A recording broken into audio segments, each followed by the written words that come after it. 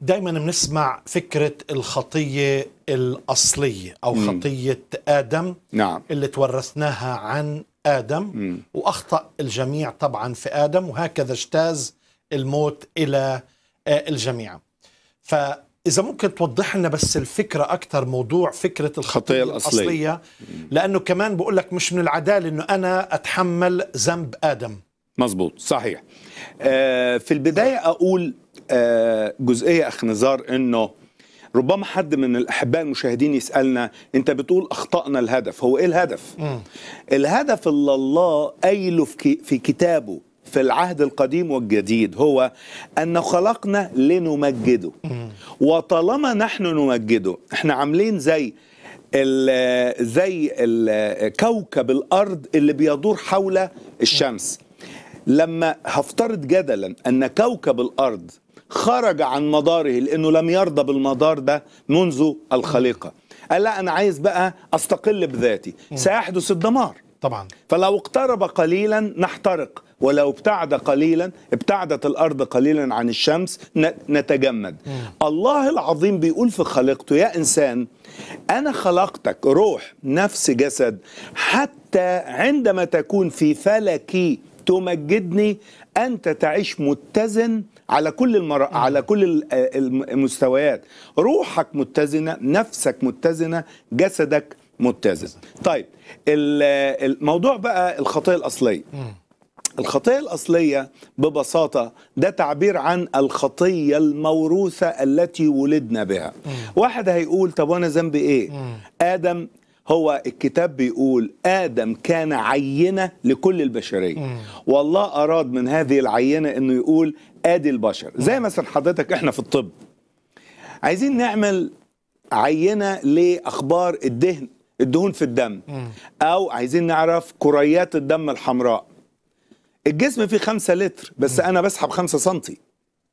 طب ليه واحد يقول لي وانت هتحكم؟ من الخمسة سنتي؟ أقول له لا ما الخمسة سنتي الدم دول بيدوني الصورة الكاملة عن الخمسة لتر بتوع الايه؟ الدم. نفس الأمر. الله أرانا في أبونا آدم وأمنا حواء عينة للجنس البشري. هو إيه اللي حصل؟ الله اداهم وصية بسيطة. كان كل شيء تحت أمرهم متاح. لكن تعدوا وصية الله. فسقطوا. نتيجة كده الوراثة لذات المبدأ. واحد يقول برضه مش مقتنع. أقول له طيب إشمعنى إحنا ورثنا من آدم عينين مش أربعة؟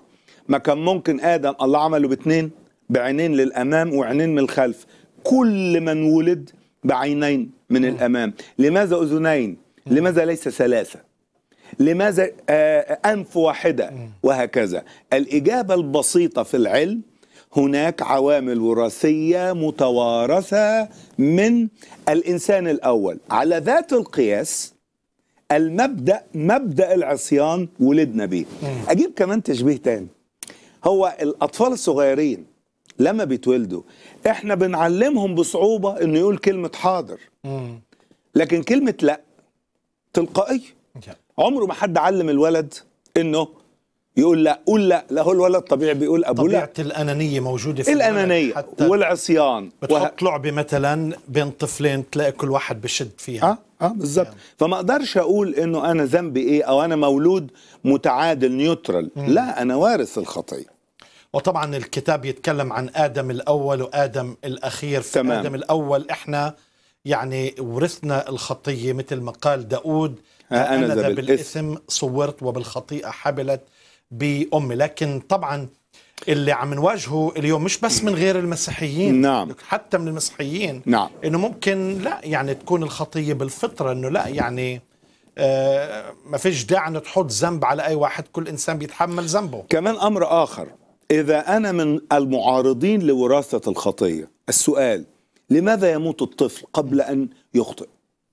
طب قلت ال- ال- البالغ أخطأ. مات. طب ليه بنس بنشوف أطفال مولودين وبيموتوا في الشهور الاولى وهو لم يصل لسن البلوغ والإدراك.